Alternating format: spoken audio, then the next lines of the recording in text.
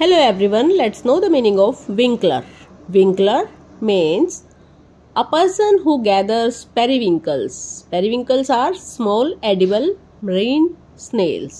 यानी समुद्र में पाए जाने वाले छोटे छोटे खाने वाले जो हम खा सकते हैं खाने योग्य स्नेल्स को इकट्ठे करता है हिंदी में अगर हम बात करें तो एक व्यक्ति जो पेरीविंकल्स इकट्ठे करता है, उसको विंकलर कहते हैं, या फिर एक नाव जिसका यूज़ पेरीविंकल्स को इकट्ठा करने में किया जाता है, उसको भी विंकलर कहा जाता है।